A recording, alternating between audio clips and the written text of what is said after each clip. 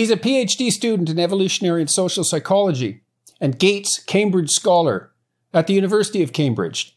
He received his bachelor's degree in science in psychology from Yale and is a veteran of the U.S. Air Force. His writing has appeared in the New York Times, the Wall Street Journal, and Quillette, among other outlets. He is currently writing a memoir tentatively titled Troubled, a memoir of foster care, family, and social class to be published in late 2022 by Gallery Books, a division of Simon & Schuster. He is possibly best known for the idea of luxury beliefs, which is where I first came across him. First published in the New York Post in short form and then in longer form in Quillette. Thanks very much for agreeing to talk to me today, Rob. It's a pleasure to have you here. It's great to be here, Dr. Peterson. Thank you. No problem. So let's talk first of all about luxury beliefs and exactly what that means and how you came uh, come up with the idea and what the consequence of disseminating it has been. Yes. So the luxury beliefs idea I define as ideas and opinions that confer status on the upper class while often inflicting costs on the lower social classes. And I mean, there are multiple strands to this idea, but it originally started with my observations in undergrad at Yale. Um, so, as you said, you know, currently I'm a grad student at Cambridge. Before this, I was a student at Yale. But before that, my life was a lot different. Uh, I grew up in foster homes in LA. Later, I was adopted into uh, a working class town in Northern California, served in the military. So I just had a completely different uh, set of life experiences and background than many of my peers uh, at, at this Ivy League university. And in that New York Post essay, the the original luxury beliefs essay, I opened with this story of uh, this conversation I had with a classmate of mine in undergrad. Uh, we were sort of talking about relationships and career, and she said to me, you know, I, I, just think monogamy is outdated. I just think it's, you know, not really good for society. I think it's just this sort of old patriarchal way of thinking. And I'd heard things like this before, but this time I asked her, um, well, what do you plan to do? You know, what do you want to do with with your own life and with your own relationship situation and, and so on in the future? And she herself said, well, I'd like to get married and settle down and have a family at some point, you know, sort of after my career takes off. And I asked her, well, what was your life like before that? You know, how did you grow up? And essentially, she had come from a very stable, intact two parent family. And so this puzzled me because this was uh, emblematic of so many of the opinions I'd heard of my uh, in undergrad from my peers. They would say one thing, they would believe this one set of interesting or unusual beliefs that I'd never heard before from anyone else. Uh, but then they themselves had come from sort of more conventional uh, upbringings and they themselves planned to have that kind of life that sort of uh, more stable traditional family. I'd once heard someone put this way that um, you know a, a, lot of sort of affluent people they uh, what is it? They walk the 50s and talk the 60s and i wondered you know what's going on here? Um, and so while I was an undergrad, I came across a series of papers, series of ideas, both from psychology and sociology. So these sort of sociological aspects, um, I drew this from Thorstein Veblen. And Veblen's idea, you know, he wrote the theory of the leisure class in the late 19th century.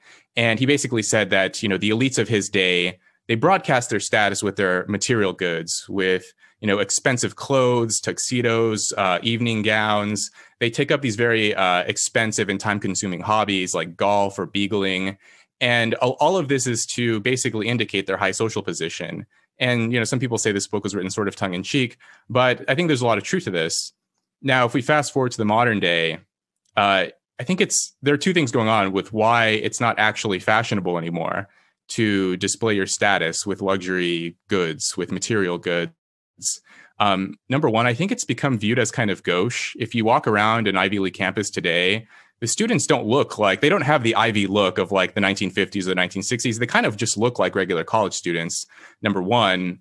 And I mean, this is true pretty much anywhere. If you look at very wealthy people, and the f- famous example of this would be Mark Zuckerberg wearing uh, cargo shorts and a hoodie. It's just not that cool anymore to wear clothes that indicate that you're high social status. The other thing is material goods have become more affordable. Um, you know, even my sort of poor and working class friends back home, all of them have iPhones. Um, you know, maybe they, of course, like their lives aren't as comfortable as my peers in college, but a lot of material goods have become so affordable that it's become harder to stand out in that way. Yeah, and you so see that claim, reflected, I think, to some degree in the decline in burglary. Oh, right. right? Material objects mm. just aren't as worth as much as they were, and so they don't distinguish between people anymore. It's not worth it anymore uh, to steal things. And and so so that's uh, that, that's the aspect of it that led me to think okay well first of all you know luxury goods are not being displayed as much by the upper class but i still think it still seems to me they care very much about social status. And this is where the psychology aspect of it comes in from um, researcher named cameron anderson at uc berkeley. He's a psychologist who found uh, he, he and his colleagues found that um, basically the upper class cares the most about social status um, they care the most about obtaining it and they care the most about preserving it which at first i thought was a bit counterintuitive. I thought that perhaps the the most downtrodden the kind of uh, people who, who are on the lowest rungs of society would care the most about obtaining money and wealth and status but that's actually not true. It's the people who are already at the top who care the most about it. And that's really what i saw at yale too uh, where you know these people were very much they were strivers. Um, they were very interested in pursuing status. Do you suppose that's a partial consequence of the fact that failure is perhaps more painful than success is rewarding. So once you have it, let's say you have high social status, you're very much inclined to keep it because the alternative would be so, I suppose, in some sense, unthinkable, so catastrophic for you. Right. So, so this is the, the idea of uh, almost like this prospect theory idea that when you have it, it, it hurts you know, twice as much as as obtaining it. I think there is something to this idea. Um, I noticed there was a, a lot of anxiety uh, among many of my peers. Uh, this feeling that they have to keep up, they have to constantly strive, they have to get onto the next goal. And I think what exacerbates this feeling is that they're surrounded by people just like them. Uh, it was it was a bit unlike uh, my own experience, um, when I had got into undergrad, I um, I thought like, okay, so I'm okay. I got into college. Like that was my goal. I I never thought I was ever going to get into college, and so when I got there, I thought like, oh, I'm okay. And then I saw that these people didn't feel okay. That they had to get the next internship. They had to get into law school. They had to do this. They had to do that. And I think a lot of it is because they're around people. They've grown up around those kinds of people their entire life, and so there's this belief like it, it, was inevitable like they always had to do this. There was never a question of their success. Right right whereas for me beginning. it wasn't like that. Yeah well when all I, of this pressure. when i taught at in boston at harvard i mean one of the things i noticed was that the students there were you know they were pleased to be at harvard. There was no doubt about that. But they it was extremely competitive implicitly. And i suppose that's part of the consequence of it being essentially based as, as much as it could be on on competitive merit. And so it was also the mm. case that many of these students had been outstanding where they had come from. They were class valedictorians and usually had at least one or two other major accomplishments under their belt. But then when they got to these intensely selected institutes, they were also, in some sense, average instantly and below average in many ways because you know, no matter how smart you are, the probability that you're the smartest person in your class at Harvard is pretty damn low. And so the implicit level of competition was extremely high. And so that might also exacerbate the sort of tendencies that you're describing. And people tend to compare themselves to their immediate peers, not to the broader world. Right. And and I th- and this is part of why I think is is is driving this. Um, you know, I, I, make this this point in the essay that their their Dunbar's number, you know, their the 150 closest people to them are 150 baby millionaires. And so if that's your social circle, then you feel this constant underlying tension to display your status in some way. And so my claim is that the affluent in large part have reattached or they sort of detached status to goods and reattached it to beliefs. Uh, and this was driven by my, you know, sort of what I saw where I heard opinions and ideas that I had never heard anywhere else. I mean, probably the most, you know, contentious uh, recent example of what uh, of a luxury belief is this idea of abolishing the police. Um, to me, this is so emblematic of, you know, very comfortable, highly affluent, educated people who would never have to bear the cost of of what that policy would entail and yet they're propounding it they're you know they're they're, they're broadcasting it and promoting it uh, with the knowledge that this is going to make them look good to their peers. It's going to make them look uh, progressive and interesting and provocative and win them all these social points from their social circle uh, without really giving much thought to what would happen to the poorest among us. And yeah, well, one of there's the a lot things of that always struck one of the things that always struck me about beliefs in progressive so-called progressive causes among high status individuals or those who are about to be high status individuals which would typify everyone in an Ivy League university I mean, if they're not high economic status at the present time, they certainly will be by all likelihood by the time they're 30 or 40. So they're already part of the upper class, regardless of their claims. They seem to want to have it both ways. They want to be members of the most privileged class and then also be rewarded for their allyship, let's say, with the oppressed. And so they get to be rich and privileged and friend to the oppressed at the same time which always seemed to me to be a form of of of greed rather than sympathy, rather than genuine sympathy. There's not much self-sacrifice involved in the adoption of the beliefs that you just described. And what I don't remember who said it when the upper class catches a cold, the lower class gets pneumonia. And so hmm.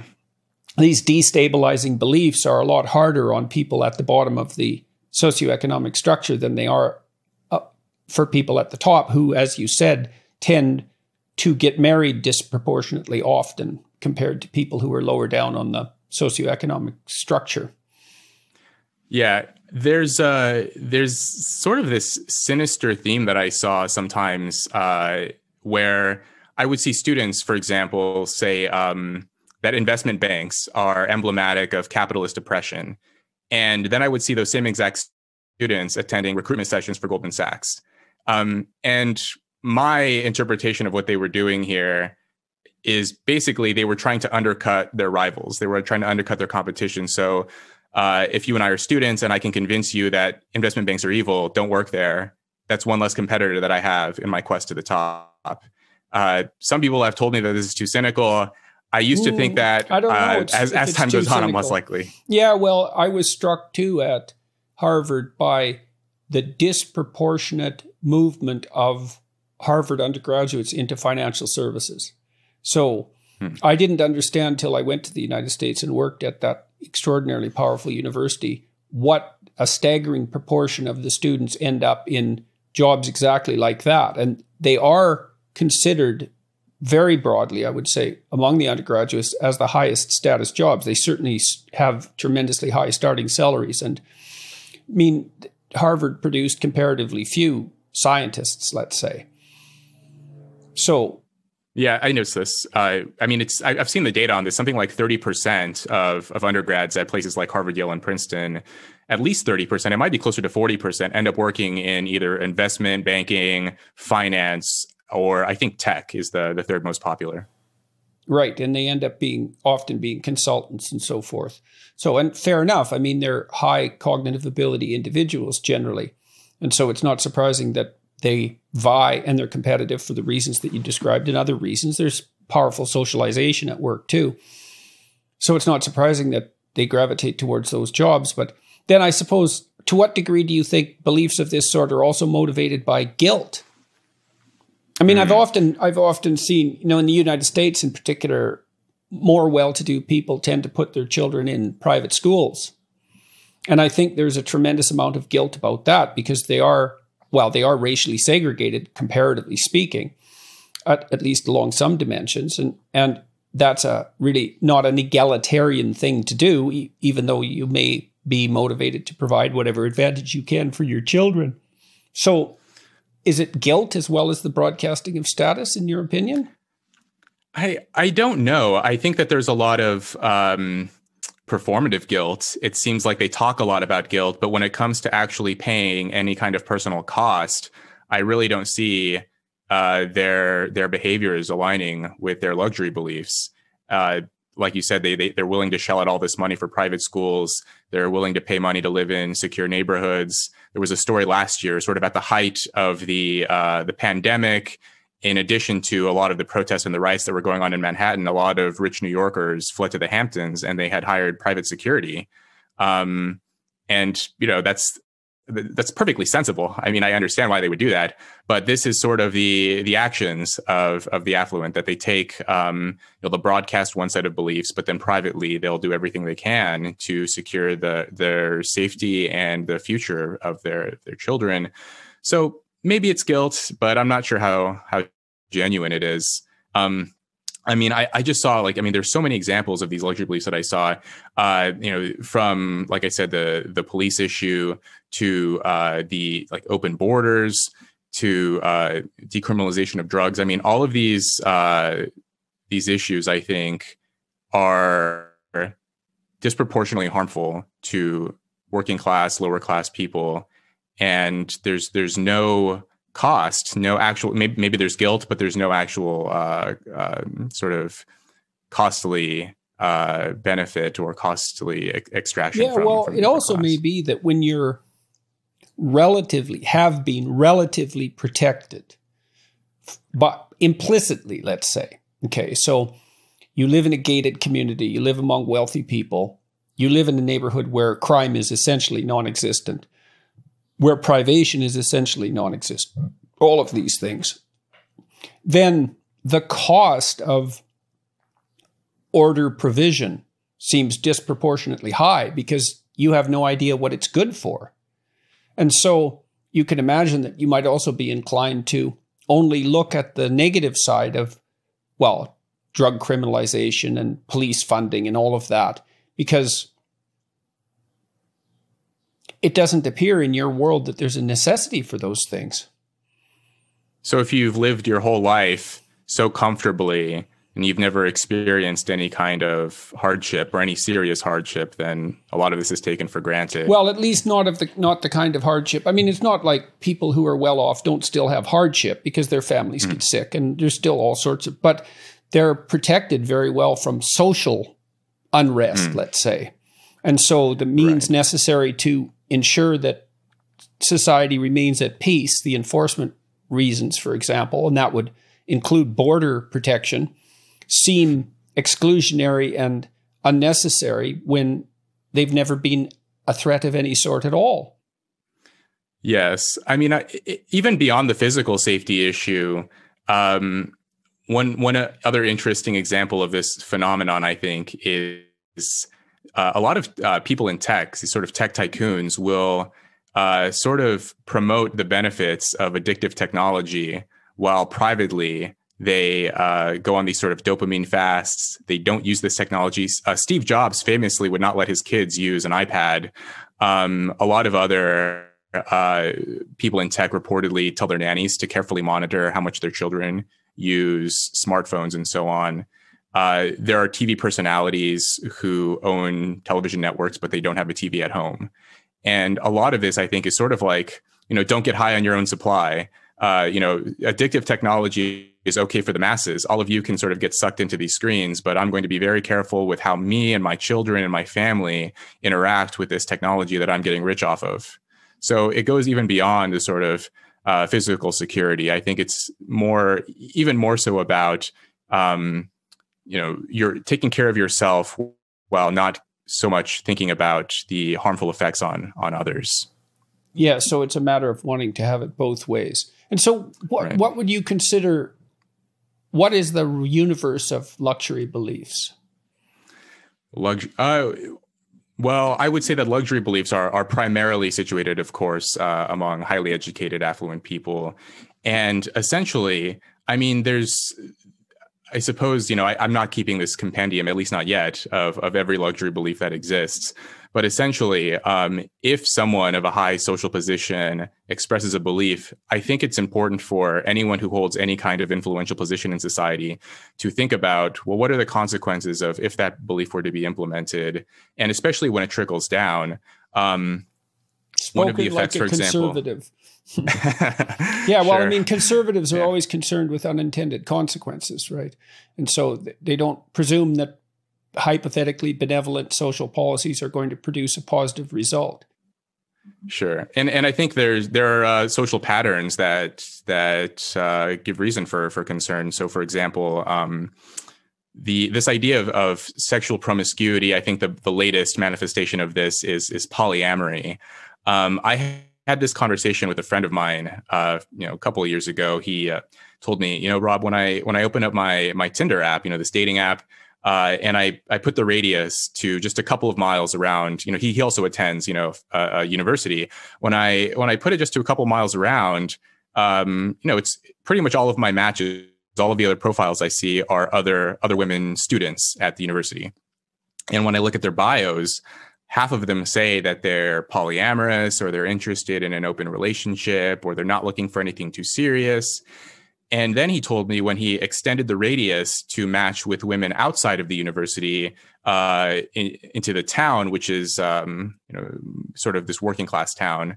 Uh, he said that about half of the women that he he saw on on his app were single moms, and so and, and it's the same age group, right? Like 18 to say 23 years old. So in the university, they're interested in having fun, and then the 18 to 23 year old working class women are having a much different experience of life. Uh, and my claim is that the luxury beliefs of the former have basically trickled down and wreaked havoc among the latter. Uh, so starting in the 1960s, um, there's data from Robert Putnam and Charles Murray and others, which you may have seen, showing, for example, that in 1960, uh, working class children born to working class families and children born to affluent families 95% of them were uh, born and raised by both of their birth parents. And if you fast forward from 1960 to 2005 uh, the affluent families the children of the affluent uh, had dipped slightly. So it was 95% in 1960, and by 2005, it had dropped to 85%. So it was a slight drop, but by and large, still overwhelmingly uh, intact families. Now, for the working class, again in 1960 it was 95%, and by 2005, it had dropped to 30%.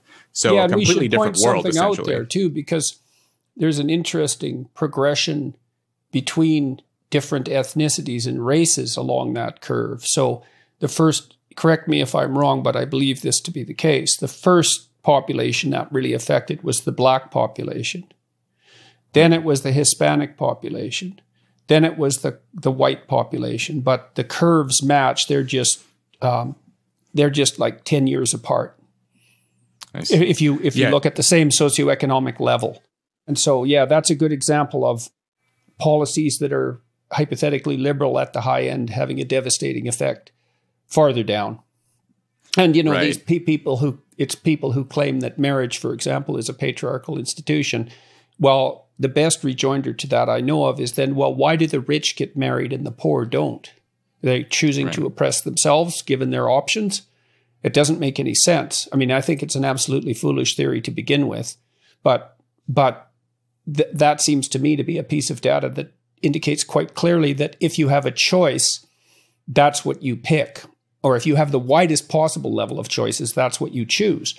And so, yeah, it's a it's a catastrophe. Although you know that's that the fact that it's a catastrophe is also hidden by a whole other set of luxury beliefs, like all families are of equal value, which in some sense is true, right? Because if if you're thinking about how each person should be valued and whether or not the child of a single mother should be valued? Well, obviously, the answer to that is yes, but that doesn't mean that all family configurations are equally functional on average.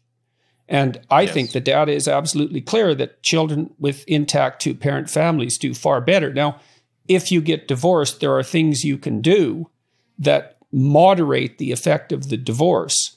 Um, uh, what's his name? He wrote The Boy Crisis.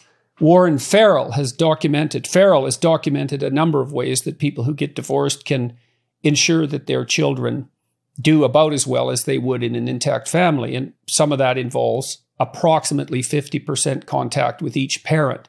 Um, I think the parents also need to attend counseling, third party counseling, so that they can maintain a reasonable relationship and they have to live within something approximating a 20 minute drive from one another something like that. But I mean, that takes a lot of balancing and dancing to replicate that environment. And it seems impossible in our society to have a discussion about the fact that some forms of families are better for children than others. And because we think of any imposition of a value analysis of that sort as discriminatory. And, you know, in some sense, it is discriminatory because when you say that one thing is better, you're also saying at the same time that the opposite of that is worse. Well, then it yeah. depends on who you're trying to focus on. And while I, I go by the data fundamentally, and, you know, children born to young single mothers, especially if the young single mothers are troubled and therefore also easy targets for predatory males, they don't do well. And there's multi generational effects of that. And we're too bloody naive and, and I don't know, immature, I guess, to have a serious conversation about such things. And we also don't know how to put the genie back in the bottle. But there's no tax break, for example, for stable married couples. So there's no economic policy that supports it. Yeah, I, I mean, I, I'm not entirely sure that that would even change much. I mean, I think this is much more of a cultural issue than an economic issue. I mean, you know, a lot of people say, well, the reason, well, it's kind of interesting how how many different excuses are produced for this. I mean, like you said, a lot of people say that it's this patriarchal institution, but then why are the rich getting married more than the poor? Well, I don't uh, even uh, know what that means. Say, let let's talk about that for a hmm. minute. I mean, sure. I suppose that claim is grounded in the historical interpretation that in the past, women were treated in some sense as the equivalent of property. And now, whether or not that's a reasonable interpretation of the past is entirely up for debate, although we could say that it was more true 150 years ago than it is now. But we could also point out that birth control was a lot less reliable. Yeah. And so the relationships between men and well, and women didn't have the freedom they have today for all sorts of reasons, hygienic reasons for that matter. I mean, one of the things that freed women was the easy access to technology that dealt with menstrual cycle and mm. public toilets and all of that. I mean, we just don't understand how much sanitary technology, for example, is built into the infrastructure as well as safety, because women can walk down the street unaccompanied without any problem, comparatively speaking. We don't understand how much of that has changed the relationship between the sexes. And so yeah. there may have been property like associations with marriage 150 years ago. But first of all, that doesn't necessarily mean that that was a patriarchal institution. I mean, it was still the case that the idea was that the men would stick around and yeah. provide economic support and care for the children. And that's a long term binding contract. And it seems to me the opposite, in some sense, of libertine freedom. So, where's yeah. the patriarchy in that precisely? I mean, women weren't equal in some sense, but there are reasons for that. I mean, many people have made the argument that by loosening the norms around marriage, it's actually been to the benefit of of men in some sense, you know, to be able to have lots of promiscuous partners with many different women and perhaps impregnate some of them and not have to stick around. There's no obligation to them beyond well, maybe so, producing child support so that, payment. That means that it's advantageous to psychopathic men. Right, dark because triad the, types. Well, exactly, because you know the, the hallmark of psychopathy is short-term advantage taken by mm. a given individual without care for anyone else. And it certainly seems to me like dating apps like Tinder. Now, I don't I don't want to call every male who's successful on Tinder a psychopath. I'm not saying that. But I would say that it isn't obvious to me at all that if you're a successful polyamorous male on Tinder, and so that's going to be a very tiny subset of men that are hyper selected by women, a tiny subset of men who, re- who receive almost no rejection, they're set up to learn to be psychopathic because all their interactions with other people can be devoted to short term sexual gratification with no emotional intimacy or long term commitment. And that's a hell of a training ground as far as I'm concerned. That's that I mean, it depends on what you want for a society, but as you said, even the affluent women who profess a desire for polyamory, which is complete bloody rubbish in my estimation and completely underestimates the economic consequences of sex, they still dream of the fairy tale princess who meets the prince who you know, wakes her up with a kiss and, and are married happily ever after. So it's, it's such bloody nonsense. We allow our culture to be run by the pathetic fantasies of immature adolescent delusion, fundamentally, as far as I can tell. If you've been listening to my dad's podcasts, you know that I've been taking Elysium Health's NAD supplement called Basis. I like it. I wanted to talk to you guys about their second supplement, Matter, a brain aging supplement developed in partnership with the University of Oxford. They have dozens of the world's best scientists working with them, and eight of them are Nobel Prize winners. Matter is supposed to slow the brain loss that's associated with memory decline as we get older and start forgetting things. Starting in our 30s, our brains actually begin to shrink. It happens to all of us, even if you're healthy. You lose brain mass. This affects memory, learning, and even physical activity. Lifestyle choices like drinking, smoking, diet, and sleeping badly can also accelerate the process. A ridiculously large portion of the population in America, in particular, is deficient in vitamins like B vitamins, and Matter can help with that. Matter is patented and clinically proven to slow the age related loss in the brain's memory centers by an average of 86%. That's insane. If you already take a typical omega 3 and it's just the type that comes from a random drugstore, I do recommend switching to Matter, which contains a, a really healthy omega 3, four times more absorbable than standard omega. Plus, really, most omega and fish oils that you just buy randomly are actually rancid and really bad for you. You have to be super picky about anything that has omegas in it. Many Matter customers have reported improvements in memory and cognition. Obviously, your results may vary. I'm sure we all want our brains to continue functioning optimally for as long as possible. You have absolutely nothing without your health. Take it from me. So we have a special offer for JBP listeners. Go to explorematter.com slash Jordan and enter code JBP Matter at checkout to save $45 off Matter.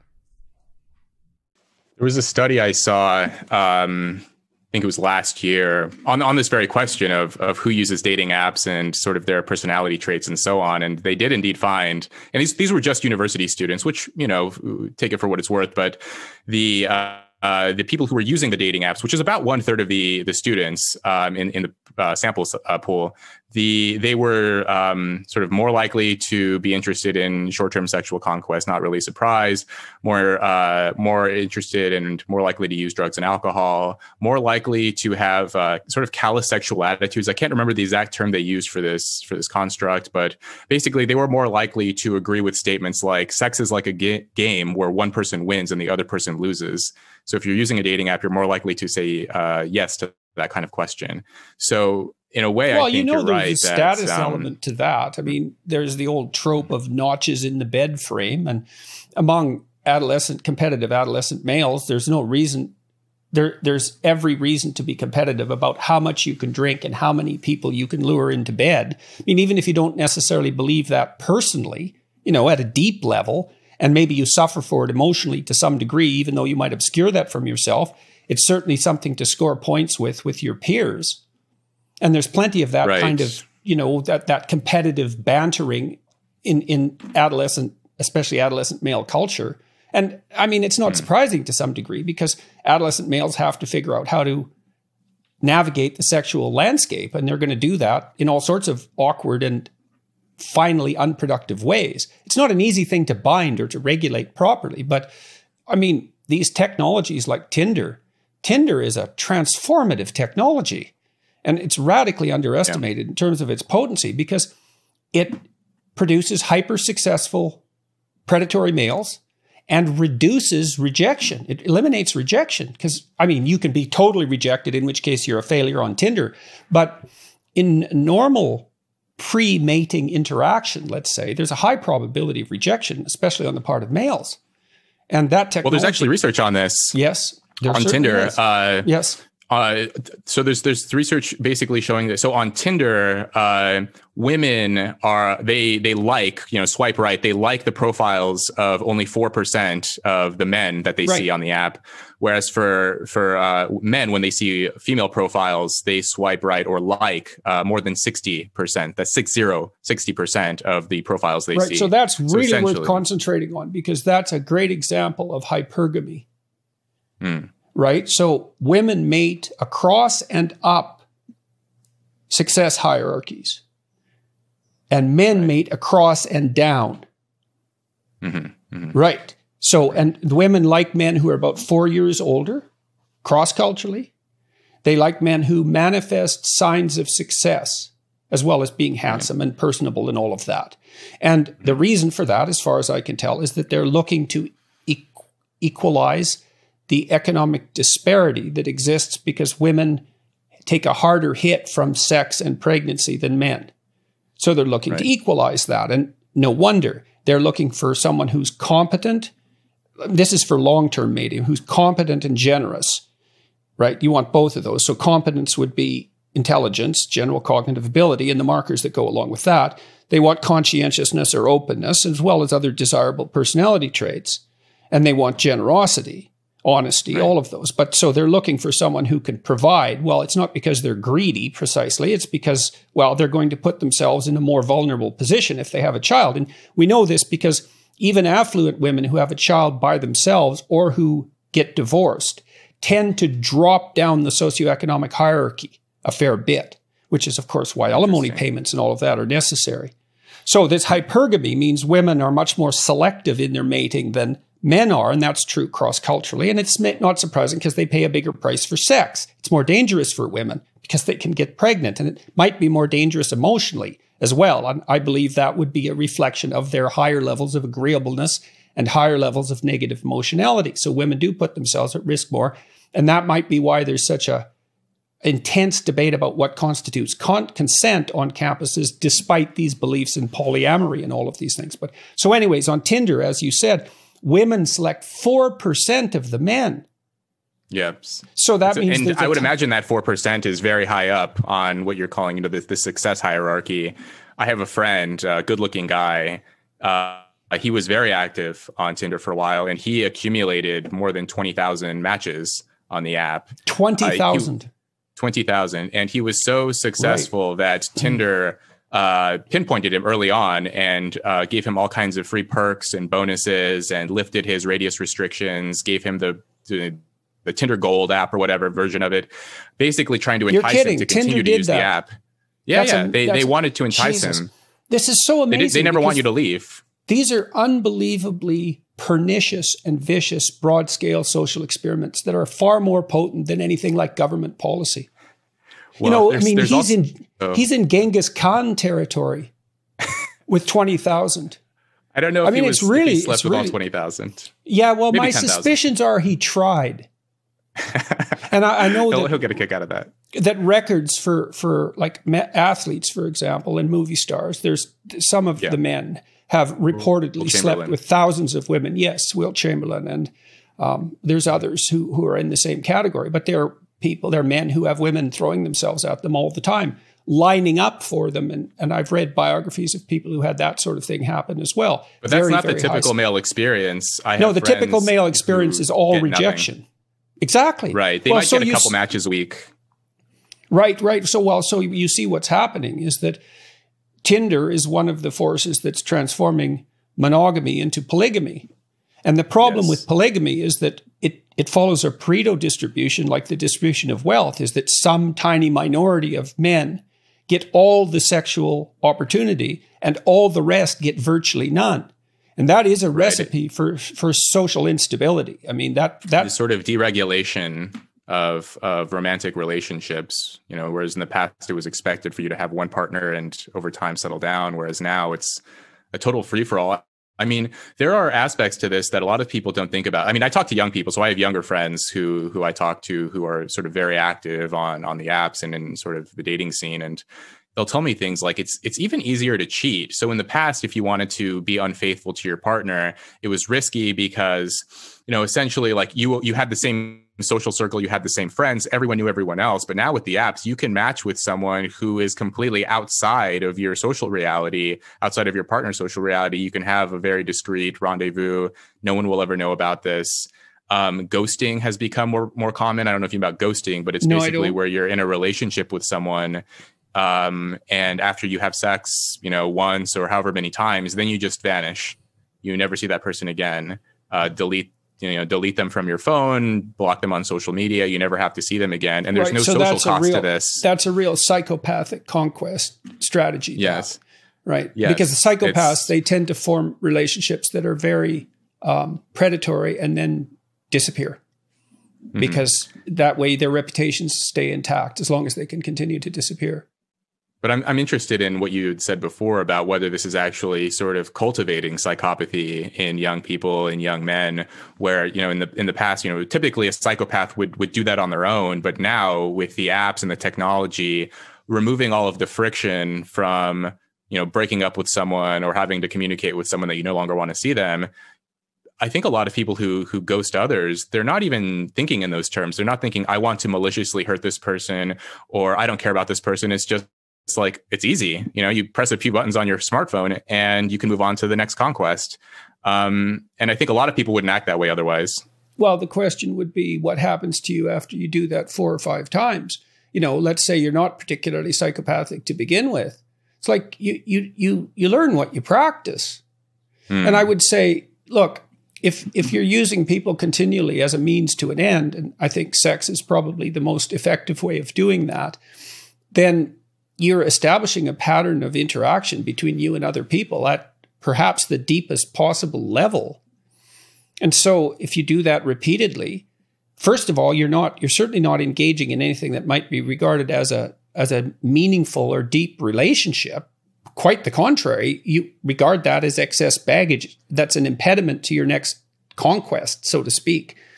So how would that not I mean, it'd be now. You said there was research on Tinder. Has there been research on the relationship between the dark triad and these hyper successful men? well i've seen research on dark triad and tinder use and you know people who are high on dark triad do tend to be more successful accumulate more partners uh, specifically whether you know this is related to, to gender and whether men are more successful or or more likely to to hurt others using these apps. I, I haven't seen anything on that. I have interestingly seen. Um, I think this was from Pew, uh, where they uh, broke down the data by education level. And they asked people questions like Have you ever been harassed on this dating app? Have you ever met someone on a dating app who inflicted physical harm on you? Basically, the, the wide variety of negative experiences through using dating apps. And they found that people who are not college graduates were far more likely, the women were far more likely to report negative experiences on the dating apps compared to uh, college educated women. And to me, this is also indicative of this, you know, this sort of social class divide. Um, another manifestation of the luxury belief of sexual promiscuity, where you know you introduce these dating apps, you have no idea what's going to happen or how this is going to warp society and how people are going to interact in romantic relationships.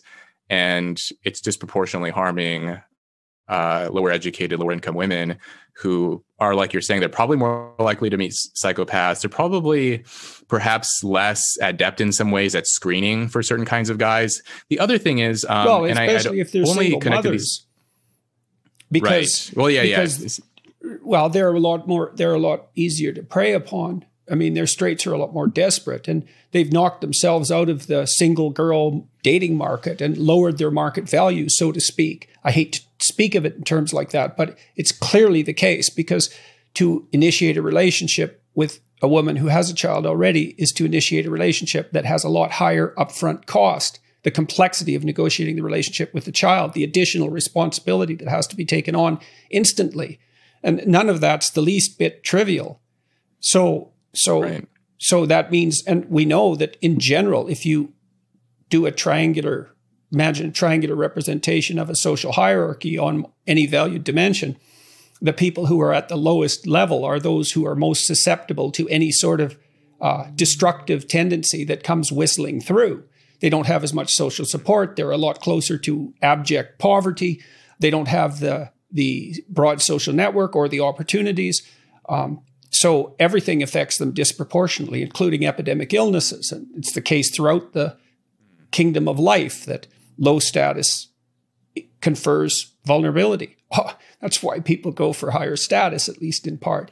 Yeah. So Right. the the Tinder, I mean, I don't know how widespread Tinder use is. I don't know that much about Tinder, but when I first found out about it, I thought this is a technology that, while they certainly named it properly because Tinder starts fires and it's a fire starter and not just sexually. And something like 40%, last I saw, something like 40% of people under 30 are using the apps. I would imagine it's probably higher now. Uh, especially in, in the wake of COVID. So the, the data that I saw you know, collected, I think in 2019, but after COVID and the pandemic and the lockdowns, um, there's no other way to meet people. So I'd imagine a lot more people download those apps, and we'll see if they uh, wean themselves off or if they're hooked. I mean, these tech companies use very um, manipulative strategies. I talked to an executive. I won't say which dating app this was, but he told Please me that do. some dating apps, some dating apps will um, basically what they call, I think they're called seeding, where they'll put fake profiles of very attractive, usually women, right? Because men are are actually more likely to use dating apps, and they're sort of more likely to pay for the uh, premium profiles compared to women who don't have to because they're going to get matches anyway. Um, so anyway, the the dating app companies they'll seed them with fake attractive women profiles and intentionally match with men who have recently downloaded a new profile, basically newly created one. And the idea here is that if they if they download the app and they immediately match with an attractive woman, uh, and then they usually have a couple of conversational exchanges like, "Hey, how's it going? Good. How are you?" And then that's it. The uh, the the robot no longer responds to the user. But the reason why this is done is basically to give them a little hit, right? Oh, it gives them, it's like drugs. You it's know, give them a little, hit. boost and now it's they're a major hit. You bet. It's a major hit. Yeah, yeah. And so basically they called it uh, chasing the dragon, which is basically a term from from from drug usage, right? From heroin. You give them a little hit and then they're going to be chasing that high for the rest of their lives. So, you know, I think that there's Jesus, so many complexities to this. It, yeah, it is. And and they yeah, they are uh, creating a lot of, I think, a lot of heartbreak and a lot of frustration. Uh, Wait for, till for the AI people men. get all over that. well, because I mean, you can then, imagine if yeah. if you're interacting with someone fake. I mean, that can mm. be tailored to your desire. Be hmm. people, mm. I'd have all you'd have to do is look at the pictures that someone was looking at, produce a composite that's a that's a, an amalgam of those attractive women, let's say, and mean that the possibility for manipulation is almost infinite. And you won't say yeah. which dating app. That's too bad because they deserve the exposure. But you know, I I understand your reticence. That's really unbelievably yeah. appalling and malevolent. Well, I will say that if if one app is doing it, then that means more than likely they all are. So it almost doesn't even matter. Uh, they're probably all doing some version of that because that's how they get users right? Yeah, so, well, it's not that I mean, clever an idea, you know. It's it's a pretty obvious idea in a very crooked and horrible sort of way. So mm. it's not like it would take a genius to think it up. Yeah. Yeah, and so so this idea of oh, and I wanted to go back. So so this idea of of um, differently educated women, different social classes having different experiences on the dating apps. Well, they're also having entirely different experiences in in the real world too, in terms of their dating and romantic relationships after the erosion of marriage, after the um, sort of deteriorating norms around uh, dating and romance. If you know, I, I talked to some people from my hometown, for example, uh, and I think about you know the kinds of guys who stayed behind, who didn't go off to college, who didn't join the military, who just sort of languished and hung around there. These are not, you know, just to put it bluntly, these are not. Uh, it's not Prince Charming. And so when women are dating these men and, and, there's no social norms, no no forces constraining them, many of them act very poorly. Um, you know, a lot of alcoholism, a lot of drug use, uh, you know, verbal and sometimes physical abuse, emotional abuse. Um, a lot of these guys who sort of are not not so educated, don't have a lot of money, not a lot of life prospects. When they get involved with a woman, they don't necessarily treat her very well. Whereas, you know, in the past, I think that there were uh, stronger norms around how you're supposed to treat the opposite sex and how you're supposed to interact with them, date them, what's expected of you, and so on. I think with the um, sort of dissolution of expectations has come a lot more trouble for lower income young women. Yeah, hypothetically, the ones that the progressives are trying to do something for. Uh, removing the constraints of patriarchal relationships, for example. The question always is what flows in when you remove the dikes, right? I mean, that's another problem, I suppose, in some sense, that's analogous to the the, protection of of social class. Is many of these institutions that are so casually criticized, we don't know what forces shaped them. So, you know, I've been pilloried in the press repeatedly for pointing out that um, normative monogamy controls male aggression. Now, it's amazing to me that I've been slashed to ribbons for making that case because I thought that was like anthropology 101. So, you know, there's two things that every society needs to control, and one is female fecundity because of its high cost, and the other is male aggression. It's like, well, I thought everyone knew that if they were even moderately educated. And well, how do you control that, regulate it for everyone's interest, particularly for the interest of children? The answer seems to be the imposition of monogamous norms. Now, people object, well, are people truly monogamous? And the answer is not if you set up the environment to differentially award hyper successful polyamorous males, which is exactly what yes. Tinder does. And there are societies where that's the case, where one man has a thousand wives, so to speak, and 999 men have none. But those aren't societies that are stable. And those young men who have nothing to do find things to do. And they aren't necessarily yes. the sorts of things that you want them to be doing. Because what the hell do they mm-hmm. have to lose? Fundamentally, mm-hmm. And it's not a good idea right. to generate a society full of young men who have very little to lose. So, hmm. I, and it is an appalling thing that the privileged classes are more likely to disparage marriage, let's say.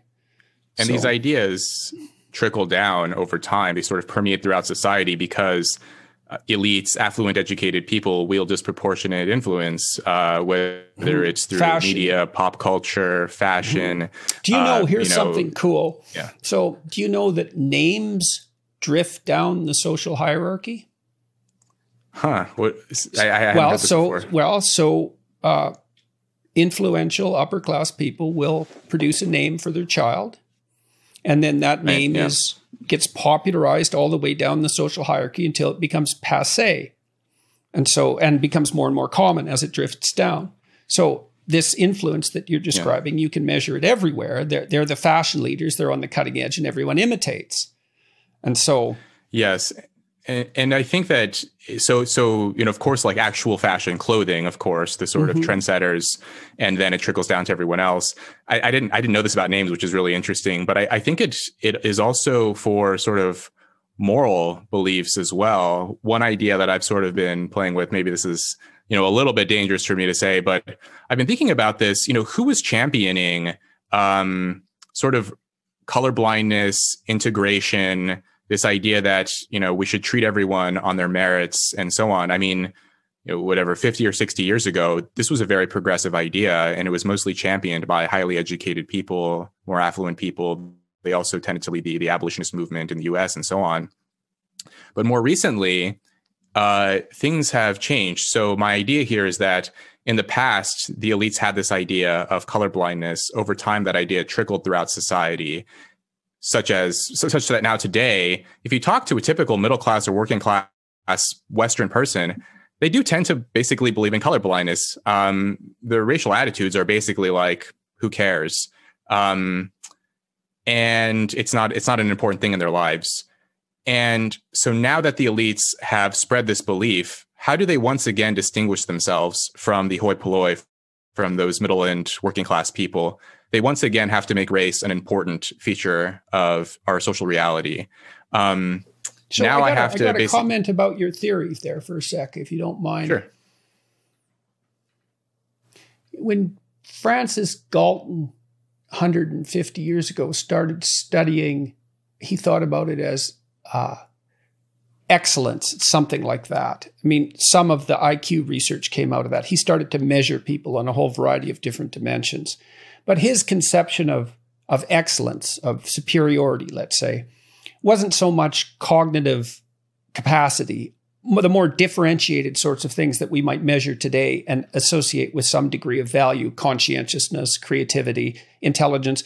Galton, who was an English aristocrat, which is the reason I'm bringing this up, was at the forefront of that movement. And he believed, like most English aristocrats of his time, that England was a superior culture and that English aristocrats were the hallmark of English superiority, right? And so, but that superiority was fundamentally, I would say, moral.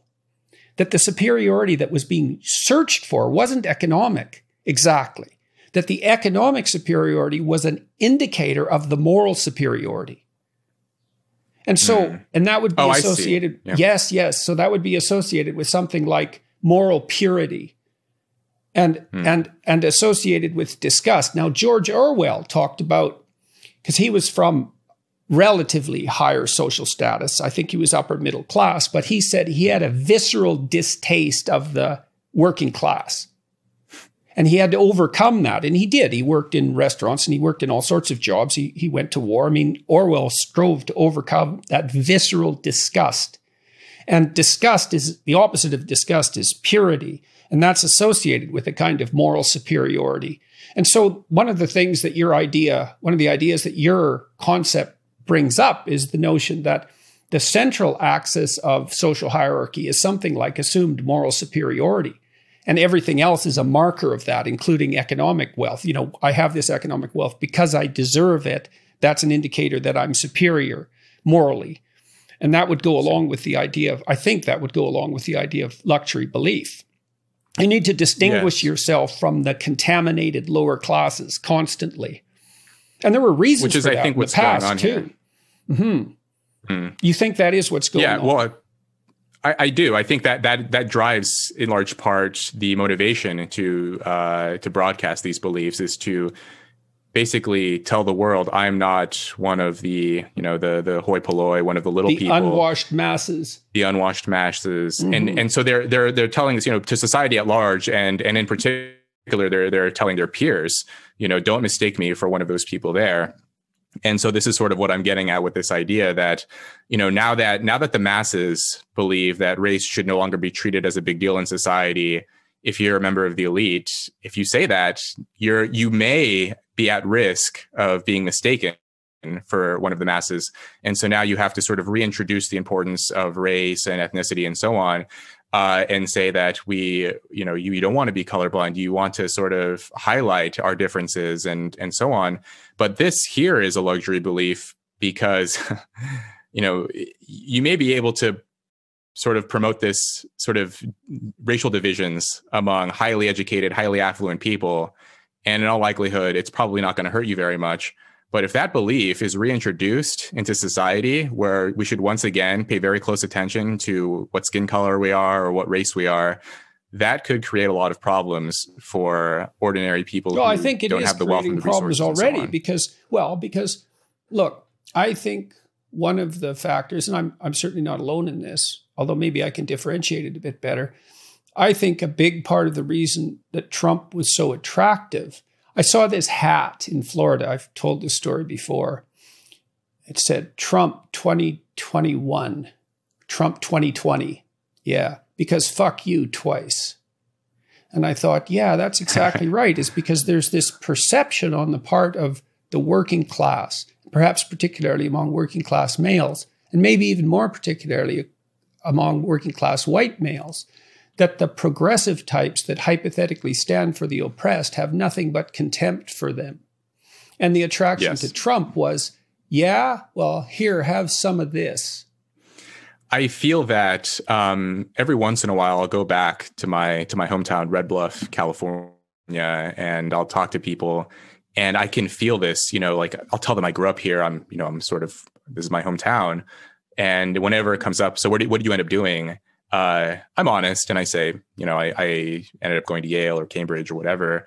But I, I'm I'm always very quick to follow it up with. But but I, I enlisted in the military. This is sort of my protection. like I was in the military before I did all this other stuff, because I can sense like when I say I go to Yale, there's this this sort of moment of awkward silence, and I can tell they're sort of updating their view of me, and probably not in a good direction either. Uh, and so then when I follow it up with, but I enlisted, and then sort of things calm back down. I had this. Ex- experience uh, a couple years ago. I was in a casino playing cards uh, in Corning, which is an even more poor and small town in Northern California. Uh, and my sister had, you know, let it slip to the dealer that I, I was a student at Yale. And the dealer looked at me for a second and he's like, what are you even doing in here? You know, in the sense that like, number one, why would you be gambling in here if you go to a school like that? And then number two, like, it, it, it sort of sounded like, I'm not really sure I want you to be in here. And I told him like, you know, hey, I, I serve in the military. I just want to play some cards. Let's, you know, let's just have a good time. And, and he sort of let his guard down at that point. But I think there is this um, feeling among more blue collar working class people that you know the elites over there are they look down on us they view us in a certain way they treat us like we're stupid or backwards or evil or racist or whatever and really it's it, i mean it's just not true um, that kind of disdain also just sort of amplifies the divisions and that is something that i'm also trying to highlight to elites as well i think that there's been a lot of emphasis in psychology um, on the role of fear in promoting belief. But mm. I think that disdain, contempt, and disgust have been underappreciated as separating motivational factors. Yes. Um, and it's one thing, if someone's afraid of you, that's not exactly offensive. I mean, you mm. might regard it as unfortunate, but there's also a kind of implicit respect. Well, you have a little bit power. of dominance. Exactly, exactly. But if they're disgusted by you or disdainful of you, that means that you're in the contemptible and rotting category, essentially. And that's a lot right. bigger dagger aimed at your heart than than fear. I mean, would you rather be shied away from or sneered at. Right. Right. Yeah. Right. Yeah. Yeah. I think this is this is part of what's uh, what's driving these these sort of class divisions. Um, that that the sort of working class and lower class they feel this. They feel that there's this disdain for them on the part of the upper class. And this is part of what i'm trying to highlight too with this idea is to to basically say that like there are these divisions social class exists in america and this is something that we need to be thinking about whenever we broadcast these silly beliefs that no one believes in. Uh, what blows my mind is that you know the, the data are freely available. You can see what the majority of Americans believe about the police or voter ID laws or drugs or what have you. Uh, and the affluent just don't care very much. They're still going to broadcast their very silly beliefs. Um, I guess. well, it could even be, you know, to take your hypothesis perhaps a step further, but perhaps you've already thought this up. It's a real marker of my status that I can afford insane beliefs. Look, right. look how crazy I can be and still survive. well, it's, it's yes. It, right, exactly. It's Costly like I signal. can take exactly. It's exactly that. It's that. It's like a peacock's tail. I can laden hmm. myself mm. down with this palpable absurdity. It has no material effect mm. whatsoever on my continued existence. So the peacock is dragging around this very heavy, colorful set of tail feathers and can still survive. And the sort of highly educated affluent members of society can drag around these very expensive, costly luxury beliefs that clearly have no correspondence to reality and they can still survive. I, well, I've and they have some too, correspondence to reality for them because they can afford well, to experiment with the beliefs without immediately perishing or without, right. you know, fatally compromising their lives in most cases, not all, but in most cases. Whereas if you're mm farther down the chain and have less protection. You toy around with polyamory and you end up as a single mother when you're 18. That's the end of that. And so then you have the rest of your life to think about, well, perhaps that wasn't very wise, but you know, it's a little late then. Yeah. Well, you can believe whatever you want. If you are a graduate of a top university and you are economically comfortable, you can have whatever set of beliefs you want. And in all likelihood, you'll be just fine. But you know, I I, I want to underline that because you are the you know you are the most sort of sealed from the consequences of your beliefs you actually and at the same time you wield the most influence in society it's very important to understand if you have a belief and you're trying to implement it into policy or to uh, sort of erode or create new norms or whatever just be very careful with what it is that you're doing. Um, you know, you can treat it as a game and gain status, but in the longer term, this is going to hurt. Um, you know, it's going to hurt a lot of people. It's going to hurt the very people that supposedly we care the most about. So, what have been the consequences for you of being known for this kind of theory? You're a student at Cambridge. You're in psychology.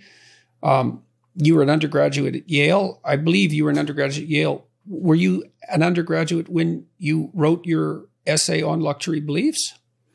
No, that was um, during my first year here at Cambridge uh, in 2019.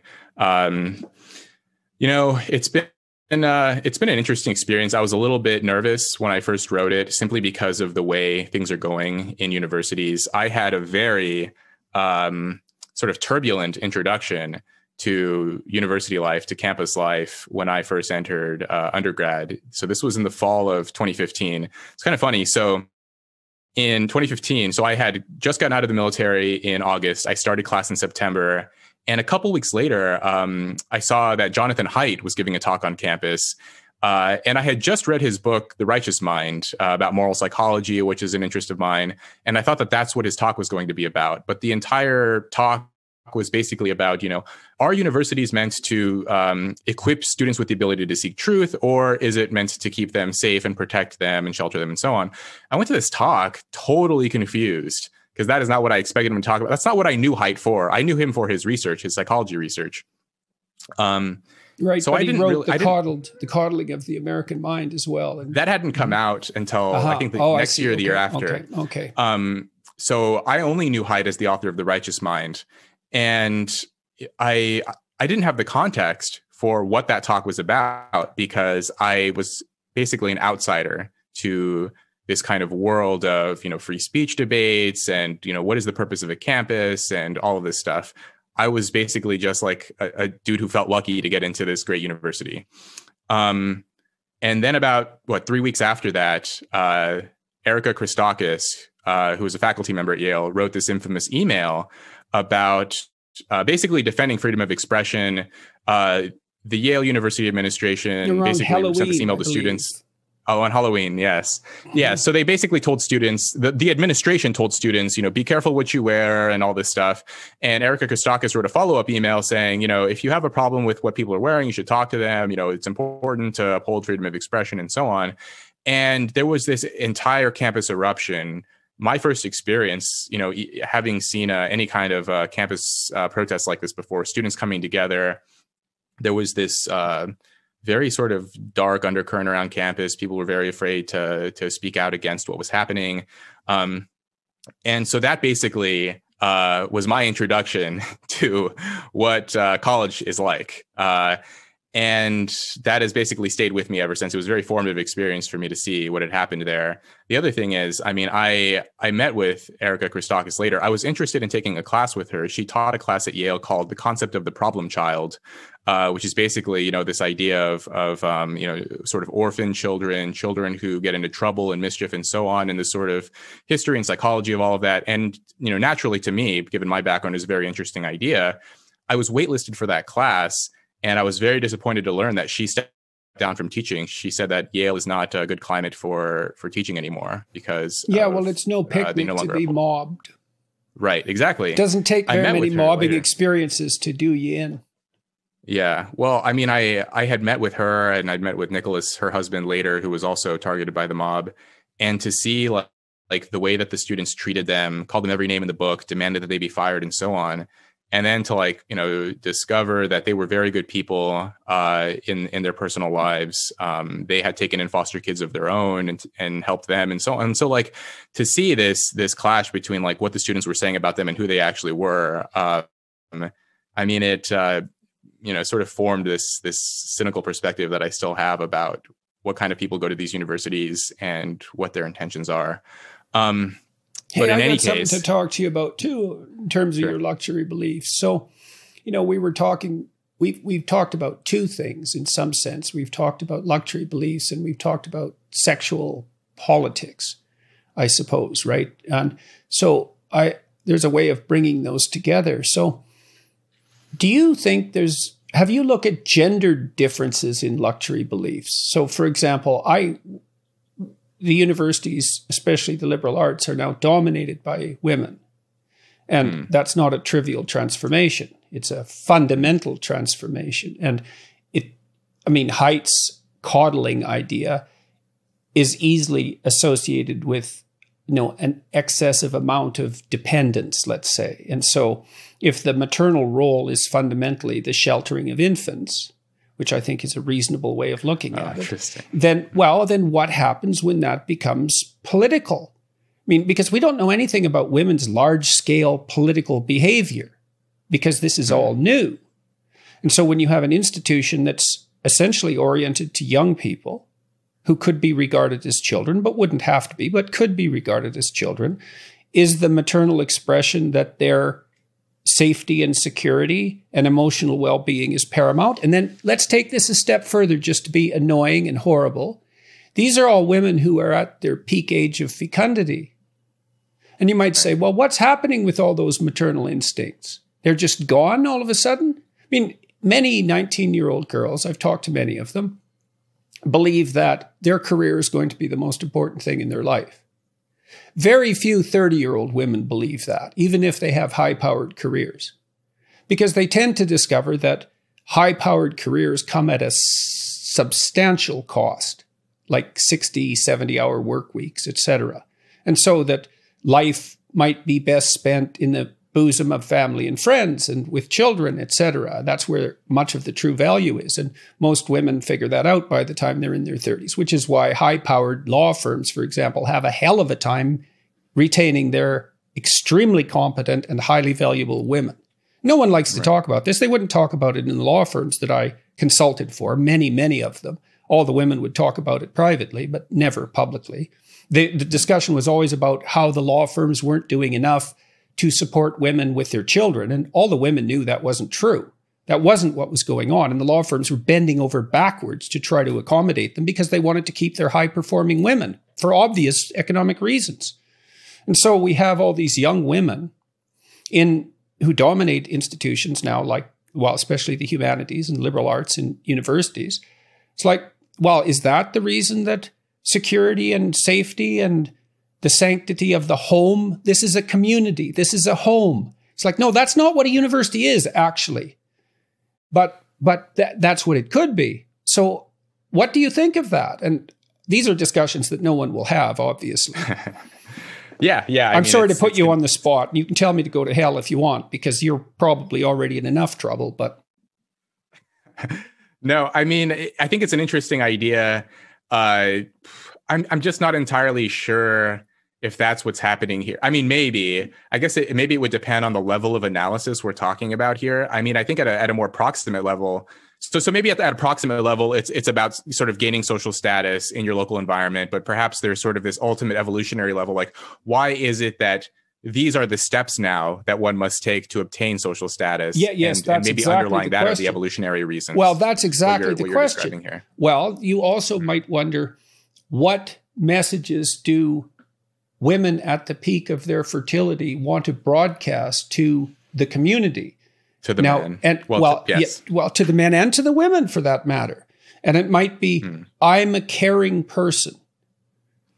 Well, well, yes. why? Why would you broadcast that? That specifically, mm. because we're looking at all sorts of potential values you could broadcast, right? The, the luxury values that are selected appear to be ones that are putatively associated with compassion.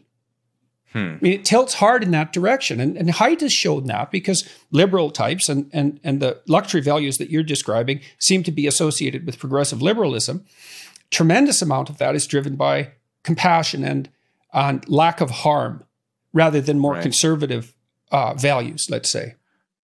Well, I did see this study fairly recently. I think Mitch Brown, he's a grad student, he was an author on this, basically showing that um, broadcasting uh, moral values uh, does sort of increase uh, attractiveness to others.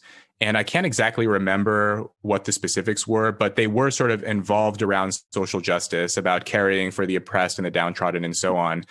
And I think the effect was was most pronounced for for men broadcasting these views, uh, and, and, women found this to be particularly attractive. Um, but I, I, I could imagine like it, it, would go the other way too. Although a lot of the sort of evolutionary psych papers I've seen on sort of mating psychology, it doesn't. I mean, men seem, especially young men, seem most interested in in appearance, like far far more than any other sort of uh, personality or behavioral uh, dimension yeah. among the women. But it's possible. I mean, what you're saying that maybe it's not so much about. Um, you know, trying to trying to impress the men, but maybe just community as a whole or, or their fellow uh, peers. It also might not be a matter of hmm. impressing. It might be a matter of a particular form of orientation taking a new target. Hmm. I mean, for, for most of human history, women who were in between 19 and 25 had infants. Right. Okay, so now they don't. Okay, so that mm. that's not like triv- that's not a trivial transformation. That's a fundamental earth-shaking traumatic dramatic transformation. And so w- we would expect that to have no political impact whatsoever. Hmm. Yeah, I, I mean, it, it's it does seem to me that it it's unlikely that it would have zero effect. Um, I guess my question would be, why now? Then, um, why would it i mean because women have been going to university now for 50 plus years um, right, i think they've they been the majority dominate of, well right? they've, they've take- dominated i mean i think they've tipped past 50% since i think the early 90s so why is it now that you know this i mean perhaps you know that's that's one ingredient is sort of the uh, the dominance of of women on universities in addition to maybe social media and a few other sort of more recent uh, inventions that have that have spurred this on yeah, well, there was definitely a, a spike in politically correct beliefs of the sort that you've described in the 90s. Oh, interesting. And, right, right. I mean, mm. but what seemed to happen then, I think, and that, that was when I was teaching in Boston, it, it bubbled up, but then the economy boomed so madly that people seemed to be preoccupied by other things for a long period of time. Okay. So, Hmm. And then it went kind of back underground. And I thought, well, maybe we're done with that nonsense to some degree, but it certainly popped back up more recently. And also, 30 years isn't very long. I mean, we're looking at massive demographic transformations in the structure of a society. We don't understand. I mean, we already talked about the effect of technology, um, of computer mm. technology on on mating, but we certainly haven't talked about the effect of ex- of relatively um, accessible and effective birth control technology and all of that. We touched on that, but I mean, these are huge well, changes that we don't know anything about. I mean, even the the sort of birth control issue. I mean, it's it's really interesting to see just like how the how the the the discussion around dating has changed so much. I mean, I remember you know reading things from the sort of early 2010s like 2012 2013 about how hookup culture was this great thing that was liberating and i think more recently people are now starting to question that um, about whether that's I, I mean you know educated people questioning whether this is good for society and yeah, I, I, mean, I've read this very interesting um, article, long form article in Brookings. Um, I can't remember the author specifically about reproduction technology and how essentially this has given rise to, in some ways, to to more broken homes. And the reasoning was that once um, once reproduction became a biological choice for the mother, then fatherhood became a social choice for the man simply because in the past if a woman got pregnant there were all of these norms in place uh, for the man to basically marry the woman. You know these sort of shotgun marriages the community shamed the men into marrying the women. If you skipped out on the woman then you were seen as a deadbeat and so on. There was a lot of taboo and shame around that. But yeah well we don't we don't even know what mm. effect there is socially for example with the presumption that well if you get pregnant it's your own fault because the reliable reproductive prevention technology is at hand. You know, and many right. well, women who get pregnant have not taken the pill properly, for example. And so I'm not saying that they should be blamed for that. I'm not saying that. What I am saying is that it opens the door for attribution of responsibility to the women. And we don't know what that effect ha- what effect there is of that on social institutions. That is actually the argument, if I recall, from this Brookings article, which was that, you know, not on necessarily on a societal level. It wasn't like society suddenly said, well, now if you get pregnant, it's your fault because of the pill. It was more on a local level. Um, couples started to believe this, men started to believe it, um, the neighborhood, the community right, exactly. started to accept that, you know, if a man has sex with a woman and she gets pregnant, the man can say to himself, well, that's not my problem. That's kind of your fault because, you know, you have this magical pill that can whatever so i don't have to get involved anymore. And i think the the local community and the social environment sort of tacitly if not if not um, sort of openly but at least tacitly started to accept this kind of logic this kind of reasoning. And this basically allowed men to skip out on their responsibility. Well it's almost inevitable to accept it if you accept the proposition that women now have control over the reproductive function. And we don't want to de-emphasize like i thought the 20th century would be remembered for three things hydrogen bomb computer chip, the pill. Three bombs, right? The tre- because I mean there hasn't been a time in human history where females had control over the reproductive function. It's a it's it's the equivalent of almost the equivalent of a new species in terms of dramatic biological transformation. someone's gonna someone's gonna edit that part out and turn yeah, it into no something. doubt. Well, yeah, well, um, good, good luck to them. It's not like I don't feel bad for the women who are put in this position. I certainly do. They have a tremendous amount to contend with. But you know, the the the other thing that's quite interesting is all of the debates about consent that have emerged on campus and exactly mm. what constitutes consent. I mean, because the the 60s hypothesis in the wake of the pill was, well, sex doesn't really matter, so you know, any consent will do because it's now become a trivial endeavor. I mean, just that was sex. the theory, right? Just it's fun. just sex. Well, and AIDS put the blocks to that theory very, very rapidly. And and no, you know, no one likes to talk about this because there's many things we don't like to talk about. But the AIDS virus mutated to take advantage of promiscuity in a major way, and so promiscuity gener- promiscuity distributed AIDS and and contributed to the manner in which it manifested itself. And so, sex turned out to be as da- a dangerous force in multiple dimensions apart from mere reproductive, um, you know, danger. The other sexually yes. transmitted disease were reasonably controlled with antibiotics. So, I find it interesting that people are so just reluctant to talk about the importance of sex as an incentive. I mean, there's a lot of discussion in society, for example, about economic incentives, about jobs, professions, economic inequality, and so on. But there's not much talk about the the role that sex plays. I mean, you know, from the sort of evolutionary perspective, sex has been around since before we were human. Sex is still going to be around long after humans have gone extinct. Like sex is universal. It's it's what drives every single species. But we, I'm just surprised at how often we overlook it as as an incentive for behavior and how fast things are changing in the realm of sex. I just saw this uh, statistic uh, from the Washington Post showing that from 2008 to 2018, the number of sex, uh, the amount of sexlessness uh, among men under the age of 30 has doubled. So in 2008, 15% of men under age 30 reported not having sex in the past year. And by 2018, it had doubled to about 30%. And for women, it had, it, it, it increased slightly. It was something like 10% in 2008 to like 15% in 2018. So there was a, an increase, a slight increase, but for men, it has doubled to the point where about one in three young men are reporting that they haven't had sex in the past year, which is a very new thing. Um, despite the despite the mating apps, right? Despite the apps, despite um, even more uh, support supposedly for um, sexual freedom and for polyamory and novel relationship arrangements and the further sort of devaluing of of the importance of sex, um, more people are having less of it, men and women, but especially young men. Yeah, well, my understanding is that's damn near epidemic in Japan. Hmm. So what's happening? a tremendous number of young men in Japan are falling into that category. And, and in fact, this society has become increasingly sexless, even among young people. I mean, that's reflected to some degree in the declining birth rate. But now oh, right. it's been a yeah. long time since I look, looked at the statistics, but that's my understanding. And so if it happened there, it's not surprising that it, you know, might happen here.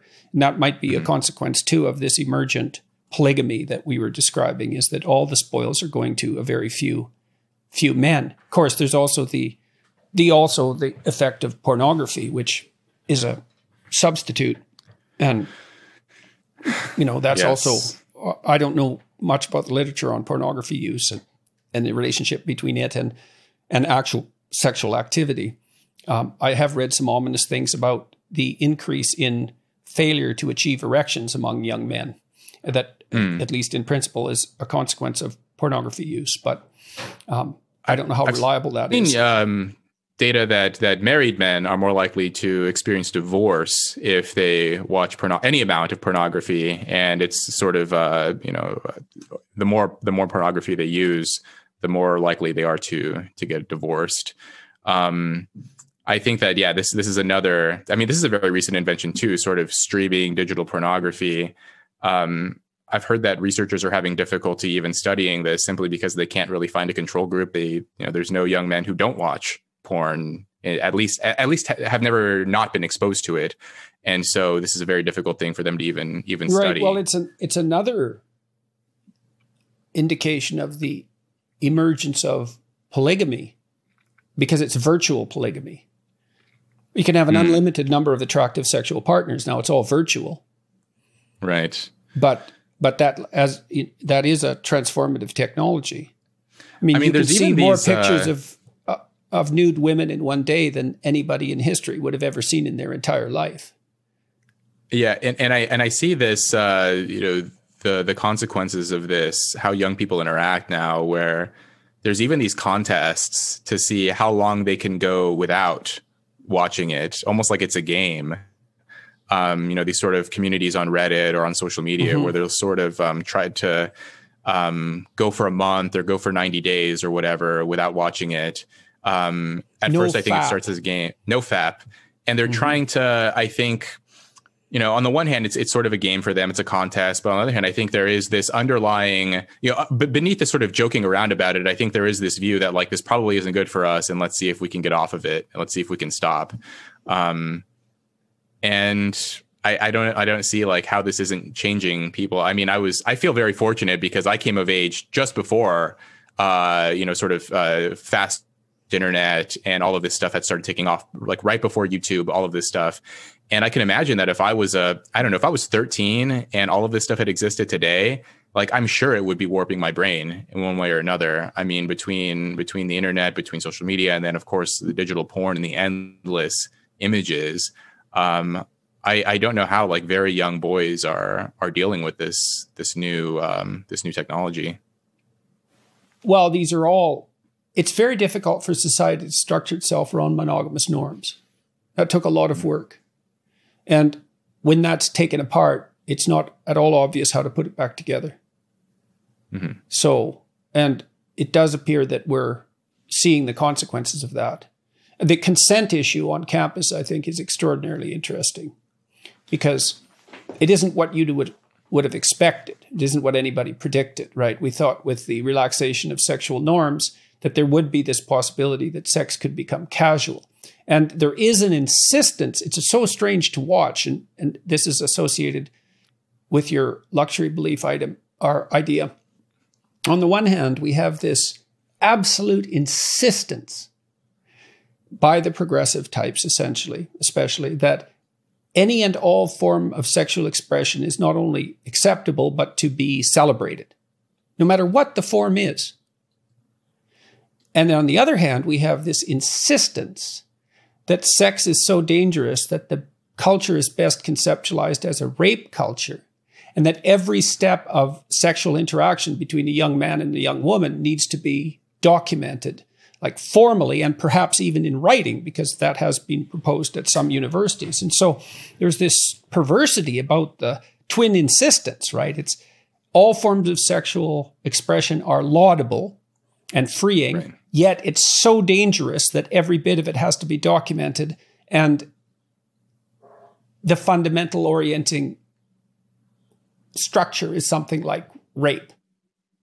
I wonder if this has something to do with just sort of sociosexual orientation of you know whoever whoever happens to be expounding the belief. So if you tend to be a person who's had your heart broken or had a lot of negative interactions, maybe you had the expectation of monogamy and then you sort of have one too many negative experiences, then you may start to be very preoccupied with uh, with the issue of consent. I, I think that's exactly what so, happens. I, I think that yeah. so you know we talked about people being shielded from the consequences of their luxury beliefs, and mm-hmm. they're shielded to some degree. Right. But my suspicions are is that the relationship between sex and emotional intimacy is a lot tighter than people want to presuppose when they insist that all forms of sexual expression are laudable. It's just not yes. the case emotionally. And, and those pe- people, the ones who are who are supporting or promoting the, the complete sexual freedom, they may just be sort of less sensitive to having negative sexual experiences because like you're saying all of it is fun all of it is free there's uh, all of it is laudable and so for them if they have you know experience that someone else might view as negative for them it's just not a big deal and so this is why they're they're promoting more of a more of an oh, open could, sexual culture could, could easily so be they, different they, they could be high in openness say so exploratory mm. and low in agreeableness so you know they're not as yeah. they're not as associated they're not as likely to form immediate empath- I mean, this bonds. itself may be connected to your earlier question about sort of the the the growth in the number of female students on campus. I mean, there's been interesting research from uh, so Jon Birger, I think I'm getting his name right, wrote a book called Date-onomics, where he goes uh, he he discusses at length the, the role that uh, sex ratios play uh, for social interactions, for romantic interactions. And basically, he found that on campuses where there's uh, more women than there are men, uh, there's much more hookup culture. Women expect less of the men. Uh, they report that, like, basically feeling despondent about their chances of getting a boyfriend. Uh, men, on the other hand, seem to have a, a much more uh, uh enjoyable time. Uh, they report having more sexual partners, feeling uh, more upbeat, um, feeling more hopeful, having more hookups, and so on. Whereas on university campuses like Caltech, where there tend to be more men than women, it's actually the reverse, where women are more likely to have a boyfriend, to be more satisfied with their romantic situation, and so on. And and basically the the um, I mean, and this has been documented in uh, across cultures in different cities, different societies, and so on. And basically the idea is that when there's a large number of women and a scarcity of men, women have to compete for that small pool of men and they're more willing to basically modify their behavior in ways that men find appealing which you know oftentimes is sort of short-term casual sex uh, you know, hookups, um, sort of very casual situations. Whereas when the reverse is the case and there's a scarcity of women and a large number of men, then men tend to modify their behaviors to be more oriented toward long term relationships, towards commitment and emotional connection, and so on. And so, as universities uh, become more dominated by by women and the sort of sexual uh, their satisfaction with the sexual landscape declines, then maybe this is related to some of what we're seeing, of course, maybe with consent and, and some of these other social justice issues that we're seeing that a lot of it may be sort of driven by um, sort of dissatisfaction with the romantic landscape and, and the way that men are behaving. A sense of being exploited. But then I would right. be interested to know if in those universities where there's a relatively smaller proportion of men and the men report being more satisfied, I wonder if that's the median or the average, right? Because I would bet it's the average. You think so? I, I, because I was thinking that in those situations, it would still be a relatively small minority of men who are getting all the sexual attention. Now, uh, it well, might be case, better for be the, the mean. Well, wouldn't that mean that the, the mean satisfaction would be high, whereas the median might? Yes, that is. Sorry, you're, yes, you're exactly right. That's exactly right. Okay. So there'd be there'd be a fair bit of variation around the mean as well. Yeah. Right. So, yeah, I, I would agree with that. I mean, it, it, there's there's a lot of like sort of interesting findings. I think this was a study from MIT which showed that like something like half of the graduates of MIT, male male graduates of MIT, graduate as virgins, and um, I, I, think that this this pattern has also been found in, in other top universities as well. And and so this probably goes to this idea that a small number of the men at at, at universities are accumulating uh, more. Well, that would go partners. along with the four percent rating, mm. four percent description of Tinder. And so what happens is that where there's a relatively small number of men, the competition between women becomes inc- incredibly intense, but for a very small fraction of the men. And because those men have endless short term options, there's no satisfaction on the female side with regard to anything past, you know, a short term casual relationship. I saw this really uh, kind of amusing study. It was in PNAS of um, this idea of sexy selfies and which countries, uh, in which countries are women most likely to post um, sort of sexually provocative images of themselves on the internet and on social media. And so the researchers, you know, they, they put forth various hypotheses. One of them was um, maybe it's maybe it's patriarchy. Maybe in cultures where uh, women are treated very poorly, they feel like they have to present themselves in a certain way, very sexually provocative poses and so on.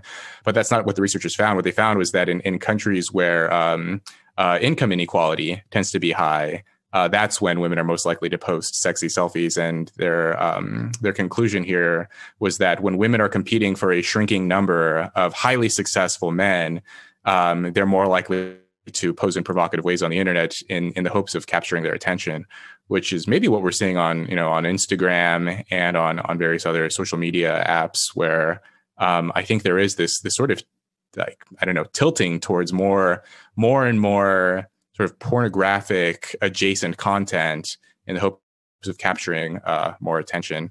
And so I think that a lot of a lot of what we're seeing may be maybe due to sort of this this overlooked topic of of the sexual dynamics in society. So what's been the consequence for you of having pursued this line of thought? We we started to touch on that, but we didn't touch oh. on it that much. Um, it hasn't been too bad. Um, you know, some people have questioned me on this. I've had some somewhat nasty comments uh, from other graduate students here at Cambridge, um, social media stuff, but it really hasn't been that bad. Um, yeah, I've I've actually met uh, quite a number of people who agree with me and who are glad that someone is speaking out about this issue um, I actually met, um, yeah, a, a, lot of friends by by talking about this openly.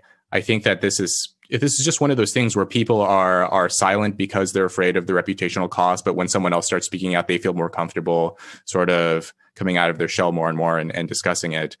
I, on the other hand, I, you know, I'm sort of reluctant to continue uh, along a career in academia simply because of everything that I've seen. So I'd mentioned before what I saw at Yale with the Christakises.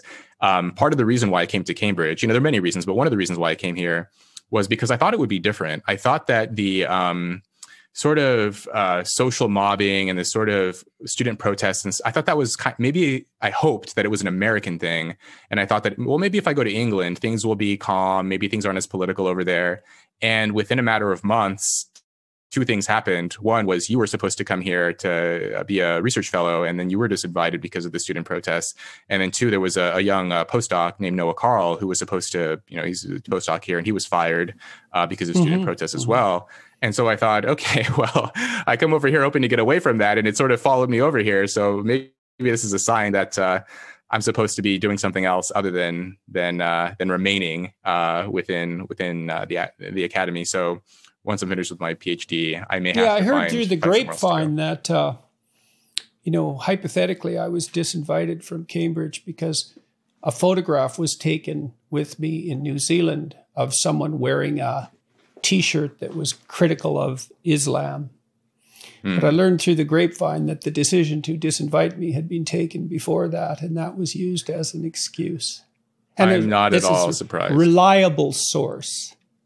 Mm. Yeah, so it's stunning, stunning. So that all of that, it was very costly and painful for me to undergo that. And, um, you know, it's so peculiar because I was going to Cambridge hypothetically to talk about biblical stories with, you know, people at the Divinity Center there. And the biblical story lectures that I've done have been very popular and uh, reasonably influential and, you know, well received by atheists and religious people alike. So it was a serious academic endeavor, and it was very difficult to bear the uh, opprobrium, let's say, that was associated with that.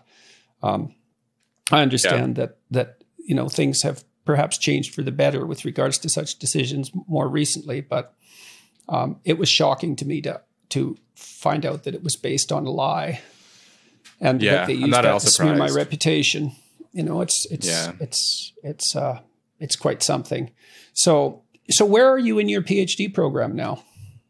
Uh, so finishing up my third year, I should have one more year, and then I will be returning to the states don't know exactly what I'll be doing, but uh, yeah, like I said, probably probably not in a university at that point. Yeah, things have changed. Uh, yeah, so much over the last few years in terms of the you know political correctness and how reluctant people are to speak out. And I think, um, yeah, yeah, I, I started I've- to I've experience that at the University of Toronto. I started to get nervous about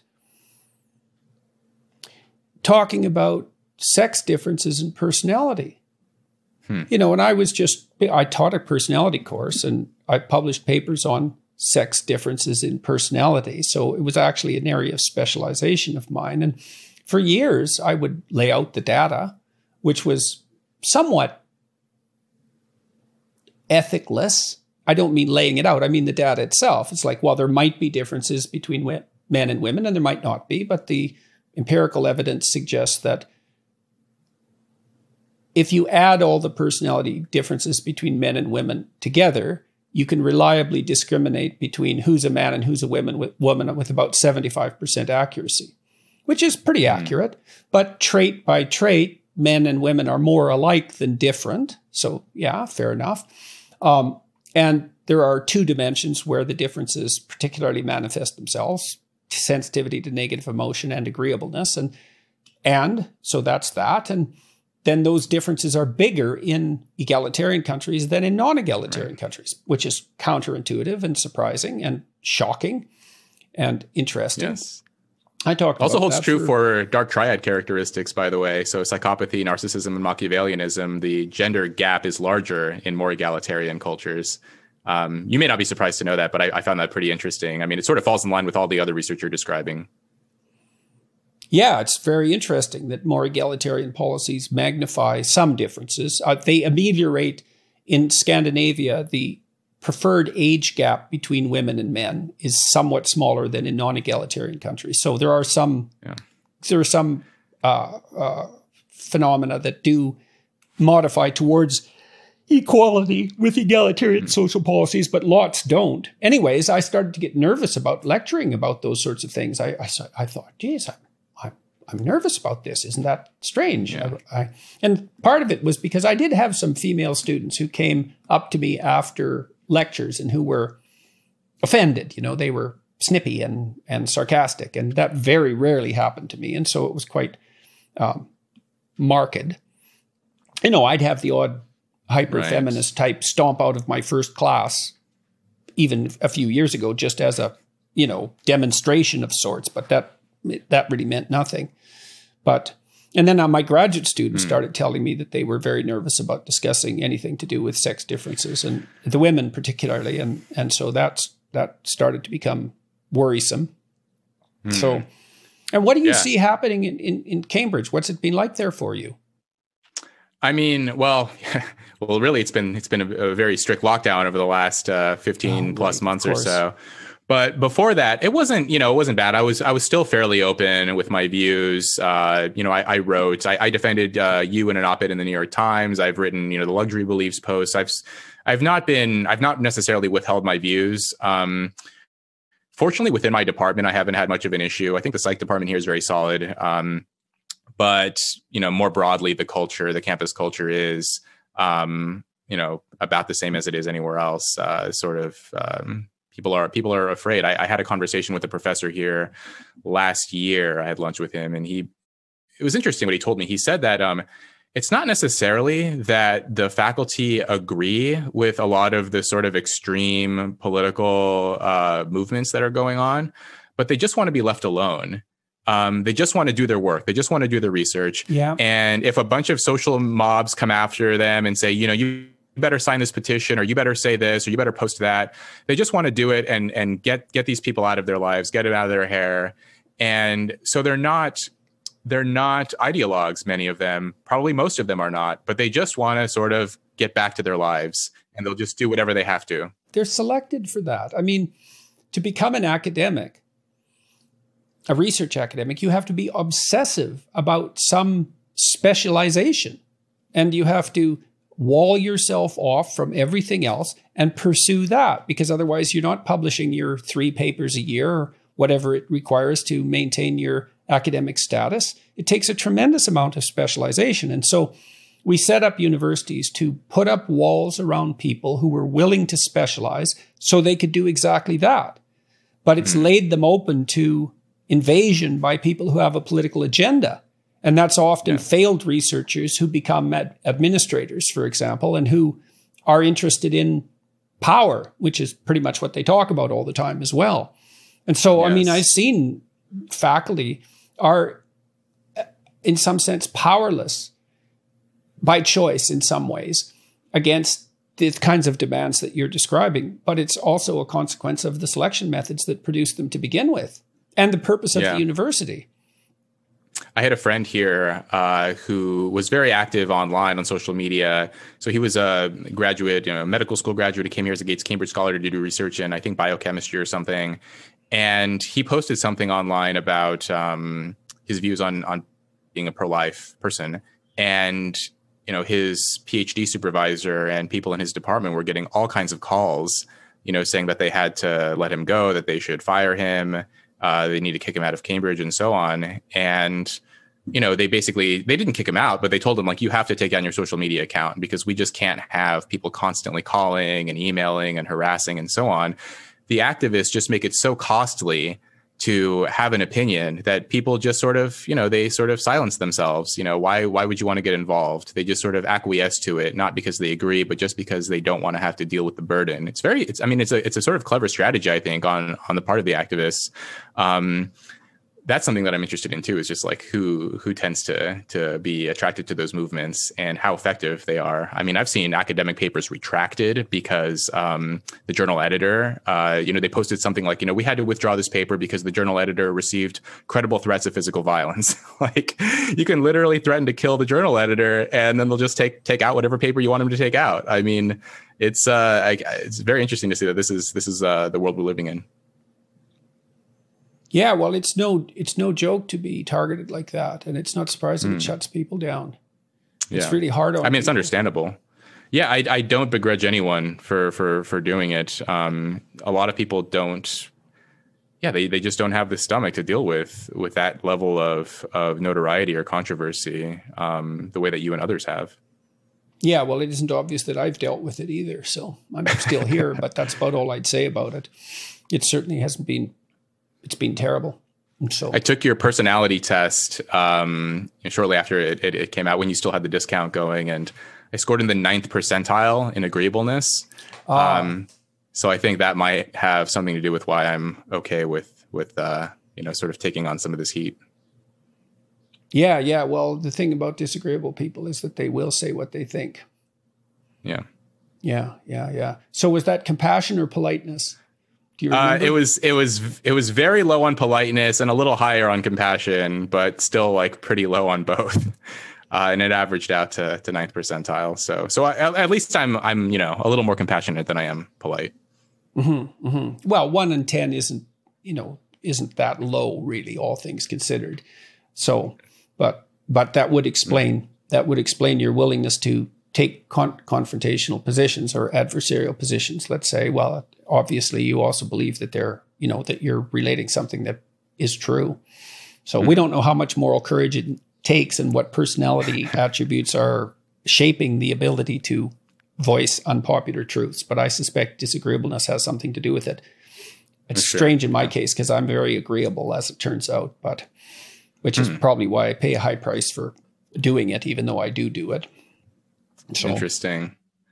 Yeah, I was. Uh, yeah, I mean, I I'd gotten into a lot of trouble in school as a kid. I um, yeah, I, I just always had this sort of um, disposition to uh, to rebel and to question rules and and so on. And and fortunately, over time, I was able to get it under control to some extent. I also scored pretty high in conscientiousness, which may be part of why mm. I was mm. able to land where I where I've landed. But I, you know, it, it was a long, circuitous path to to get here. Right. Yeah. Well, conscientiousness is a colder virtue, but it tends to pay off in the long run. Mm. Mm-hmm. So, what do you think you're going to do when you finish your degree? You know, you, you said you're you're not that interested in pursuing an academic path. Yeah, I well, my book is supposed to come out later next year, so near the end of next year, and I'll probably be spending a lot of time promoting that. And yeah, I I don't know, I, I do enjoy research, writing, teaching, all of those things. So, in whatever capacity I can, um, continue to do that, whether it's working at a think tank or or even just going full independent and and sort of starting my own channel or something like that. Um, and yeah, I'll just be continuing writing and and sharing my views in, in one way or another. Although I'm not exactly sure what form that'll take. Well, it was really good talking with you today. I thought the discussion was moved along at a great clip, and uh, I appreciated your viewpoints and your candor, all of that. And um, I learned a fair bit as a consequence of talking to you, and so much appreciated. Likewise, thank you, Dr. Peterson. You bet, you bet. Good to meet you. Maybe we'll meet up in Cambridge if I ever come there. Let's do it.